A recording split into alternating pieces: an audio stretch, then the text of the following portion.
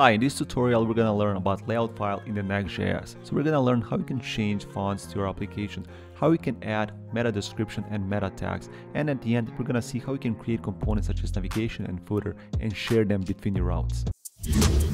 Code with Sloba.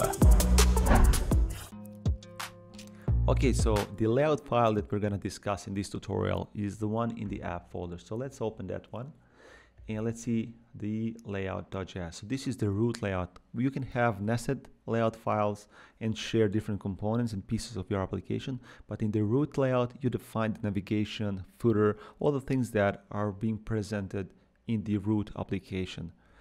Uh, right off the bat, we can see that we have these fonts imported here. So let's change the fonts in our application. So let's say instead of Inter, let's we import the Roboto, which is much more uh, much more a known font. And when you're using fonts like Roboto, which is not variable font, you need to provide weights when you're uh, defining them. So let's update the constant here that we're using and let's call the font that we just imported. So you import a font here, this module, and you just call it. And here, when it's not a variable font, you need to provide uh, weights. Uh, weights for which are you going to use in your application. So let's say that we're going to use 400 and you can provide an array obviously if you want to use multiple fonts. So if you want to use bold as well let's add a 700 like so. And now we need to use how we inject this font in, inside of our application is we use this variable that we just created and inside of our body class name we just call roboto.class name and now let's open our application.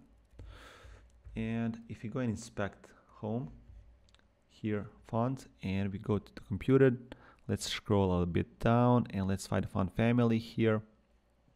And as you can see, we have the font family as Roboto here. Nice. So this is how you can change the fonts. The next thing which you can notice here is that we have this metadata. With metadata, you can change the title, description, and all other meta tags uh, available inside of your site. So for the title, let's say next.js course, and let's say for the description, say code with Sloba next.js course. And now if we open up our application, we can see that the title of this application has changed. And if we inspect the head, we can see the description is updated as well. But here you can also add OG tags, so open graph tags. So let's say that you want to add open graph tags. And these are uh, information provided for social media for twitter facebook youtube you know whenever you're passing a link and you want that image and description and title to be you know previewed uh, this is where you uh, where you pass in all the information. So let's say that you want to add uh, let's say site name and let's call it course just course or next.js course. Next.js course and if you save this and let's open up our application again. So now you can see that in the head we have a new meta meta tags. So we have OG title, OG description, OG site name, the one that we just added. And you also have a specific for social media like Twitter generated here. Twitter card, Twitter title, and Twitter description. But if we go and remove this OG, let's remove it. Like so. And if you go to the head, now you can see that these OG meta tags and Twitter have been removed. So this is how you add that. And another important thing to know is these are the meta tags that are added in the root. Uh, so which means that you can add these obviously meta tags on your page specifically for that page and they override this uh, root metadata. But this one gets inherited for every single metadata that you define inside of the separate pages. So that, that is important to know. And the last thing that we need to cover is this root layout uh, function. Uh, the important thing is that the naming is not uh, you know very important. You can name it however you want. The only important thing is that it needs to be exported as default. So this is why the name is not uh, relevant.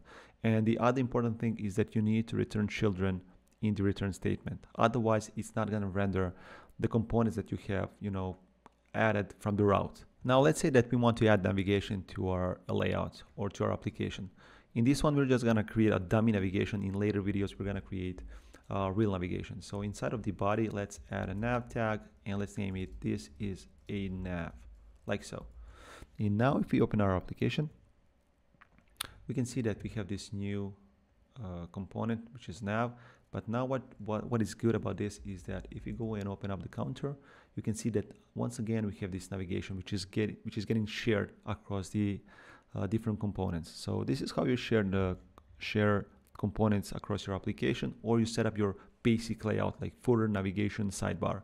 Once again, you can create nested uh, nested layouts and they share uh, components inside of the pages itself.